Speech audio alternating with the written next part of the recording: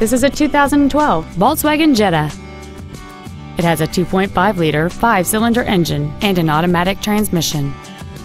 Features include a low-tire pressure indicator, traction control and stability control systems, heated side view mirrors, CD player which is capable of reading MP3s, an illuminated driver's side vanity mirror, an engine immobilizer theft deterrent system, a passenger side airbag, rear seat child-proof door locks, a keyless entry system, and cruise control.